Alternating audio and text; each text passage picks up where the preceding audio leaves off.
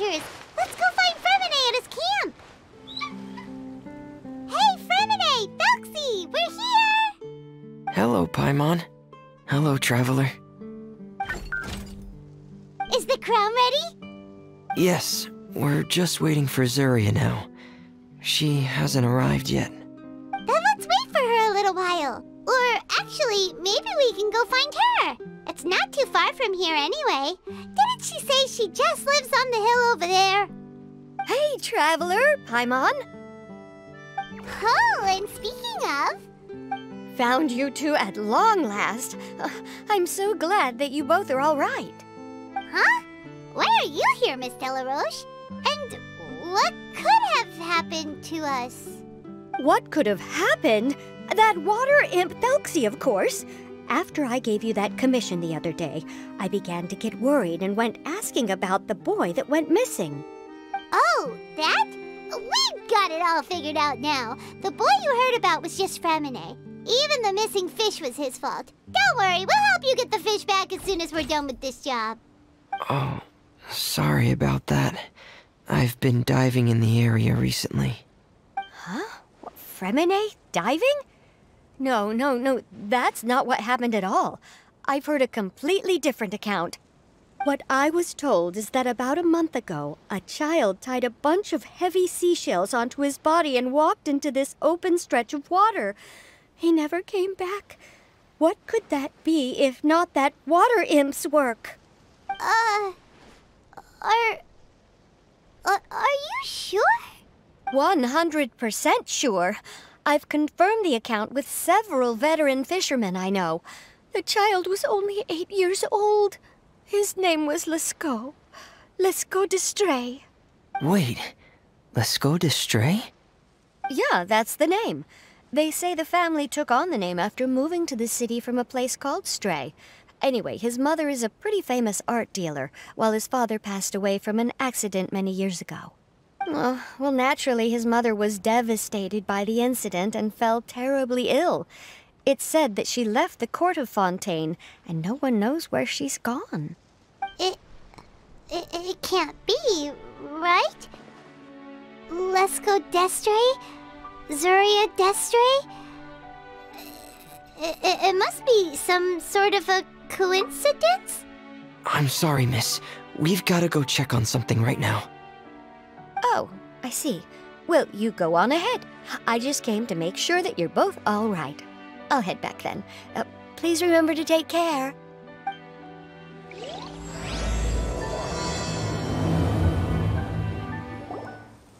Excuse us. Uh, is anyone here? Is this Madame Destre's place? Who are you? I have a patient here who needs quiet bed rest. Please leave us be unless you have anything urgent to report. This is the residence of Zuria Destri, and I am Jala Khan, her family doctor. What did you mean by your question just now? Who else could be my patient? Your patient should be Zuria's son, right? She told us herself that her son had contracted loneliness syndrome. No, you're right. Young Master Lescaut did have that illness once upon a time, but he's. Well, the young master's no longer with us. And now the Madame has come down with the same illness. Are you her friends by any chance? Oh. So, when she had requested time to go out over the past few days, it was so she could spend them with you. So, if I'm understanding this right, the one who's suffering from uncontrollable delusions is the Madame herself? She believes her son is still alive? That is correct. When the young master disappeared, she was organizing an art exhibit that she had specifically prepared for him. But since she had to leave the house, she was unable to see her son one last time. That might have been the trigger for her regret. Or perhaps the family's fall into loneliness and grief was inevitable as soon as the old master passed away. First the son, and then the mother. But how could that be? She really looked like she had a handle on everything. Her smile was so lovely, and she even told us to stay optimistic. But you're saying.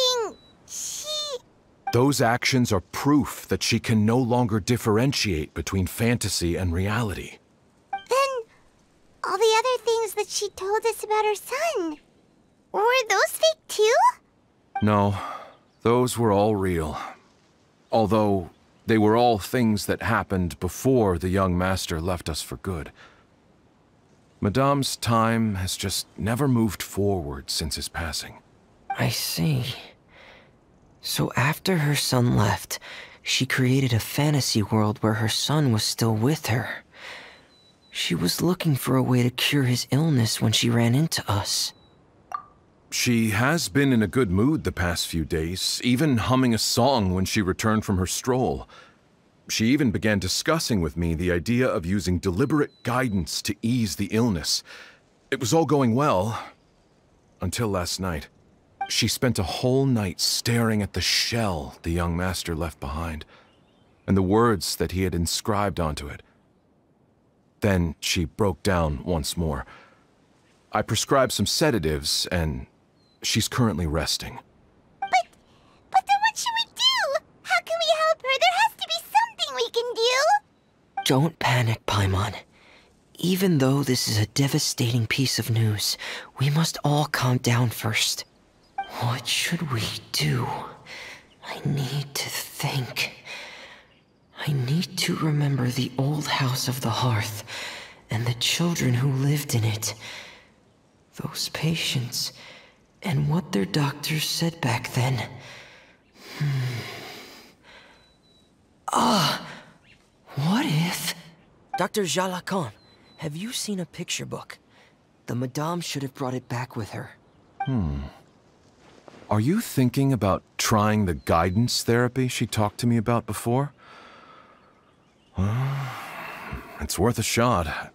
I'll go get the book. Yes, this is it. That's right. If what Dr. Jean Lacan said was true, the past few days have been very helpful to Zuria, so we should complete this journey. We need to show her that her child has found a happy ending in the world of her dreams. But... But wouldn't that just make it harder for her to accept reality? One must first face reality before accepting it. The Madame has been crushed by her feelings of grief and can no longer bring herself to face reality. Our first priority would be to get her out of this state. Right. Before today, I had thought she wanted to use Thelxie's fantastic adventures to save her son. But now, I think she might need it to save herself. And if we could complete it, we should be able to give her some feeling of inspiration and closure. Maybe those feelings would be enough to give her some courage to face reality again. There's no time to waste. Let's set off right away. Again. This is the final part of Thelxie's journey, but the most important person is missing. Everyone, please don't be so down and gloomy. Remember what she told us? If we were to feel troubled, the patient would become anxious as well. You're right. Paimon needs to smile. If we have to give something to Zuria, it should be our smiles. We have to keep smiling as we finish this adventure. And then she'll be able to recover, right everyone? Yeah, I'm sure she will. Oh!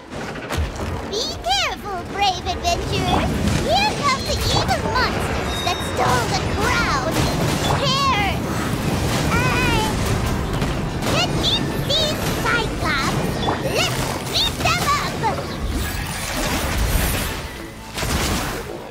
Watch out, everyone! They're coming at us again!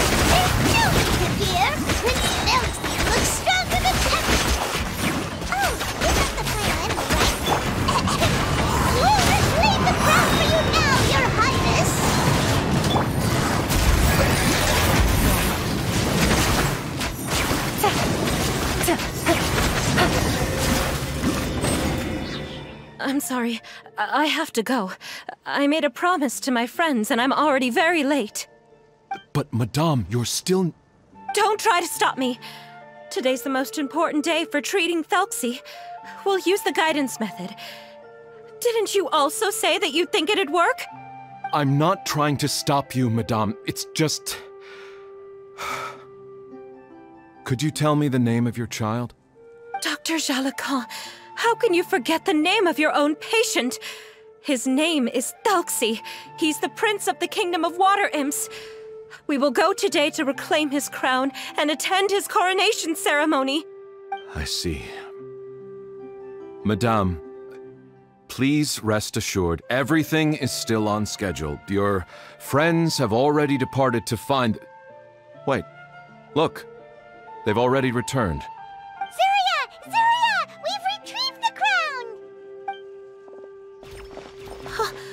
Paimon, everyone, have you really?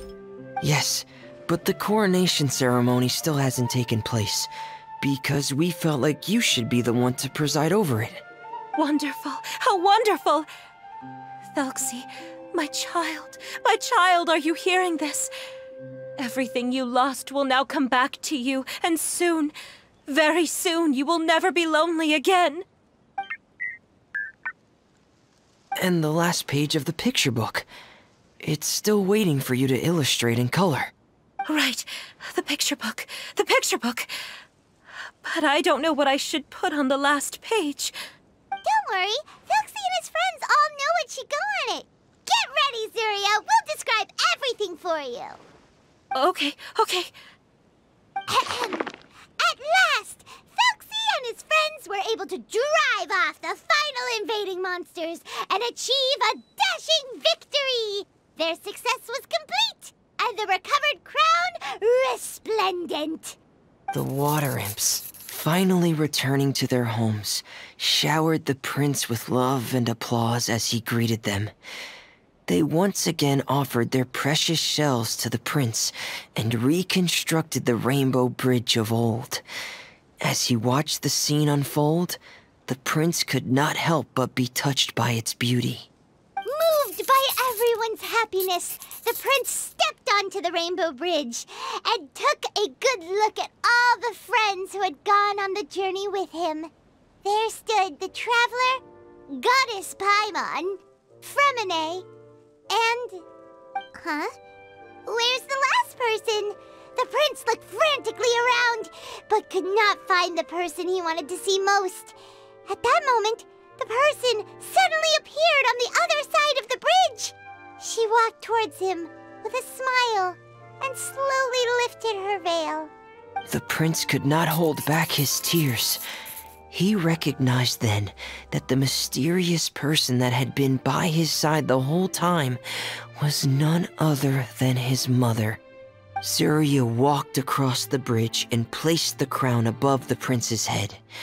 She smiled down upon him as she said, My prince, my king, you shall never, ever need to feel lonely again. That's the end of the story, Zuria. Thank you. Thank you all. I am so sorry, my child. Maman should have spent more time with you. Did you hear the story? You'll never have to feel lonely again.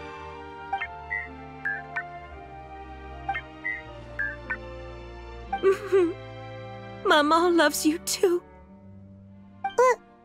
What's happening? Is Zuria talking to Thelxie? Quick, put on my diving helmet. There's a transcription module in it that's compatible with Thelxie's output signals. You should be able to use it to understand what Thelxie's saying.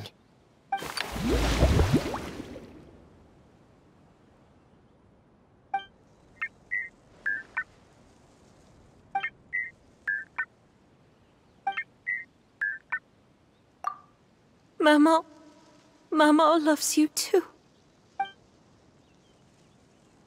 But I love you more, Maman. What? Did you see something? Maman, I'm getting a little sleepy. If it's time for bed, can you hum a lullaby to me again? Of course, my dearest child.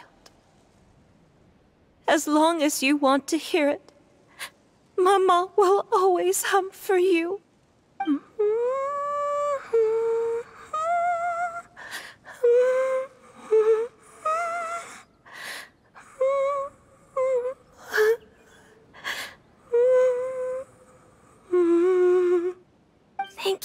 Your lullaby has always been my favorite.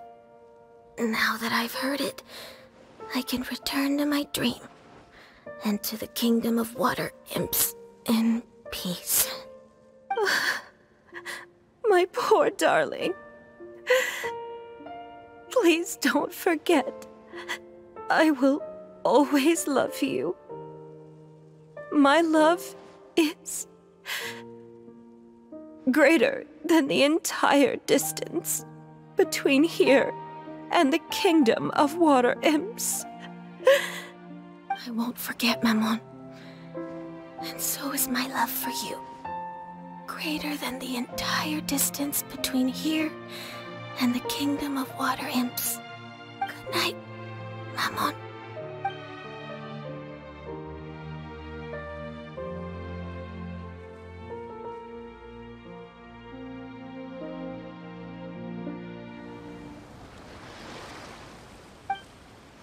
Traveler, Paimon, you're here. Freminet! Why did you call us in such a hurry? Did you hear something from Zuria? Oh, if it's not good news, Paimon doesn't want to hear it. Don't worry, it's definitely great news. The Madame came here for a visit just now with her doctor. Color has returned to her cheeks, and she sounded full of energy as well. She said she'd like to return to the court to continue hosting the art exhibit. But this time, she'll work with her doctor to exhibit some picture books related to the illness.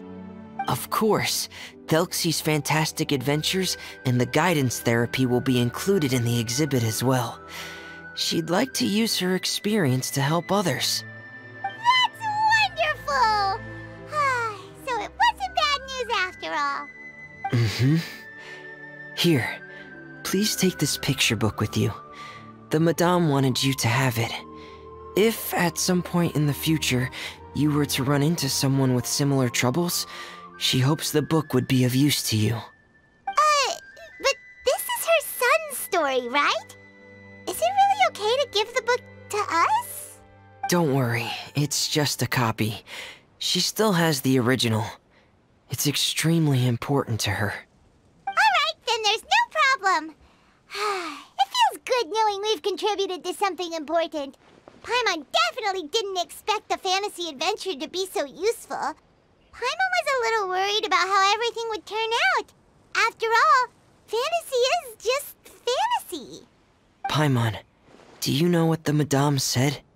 She said that at the moment when she placed the crown on Thelxie's head, she felt like she really saw something beautiful. Her child had returned, and he told her that he loved her. She also said that was when she was finally able to bid farewell to her son. She felt like at that moment, she was healed by some mystical power, and she was filled with courage from head to toe. Oh, really? But could that just be another part of her fantasy? Perhaps. But if fantasy is just fantasy, and the fantasy world is not real, then how could it still grant us these powers that we can continue to use in the real world? But, but what else could it be? A descent of the fairy tale world into the real world.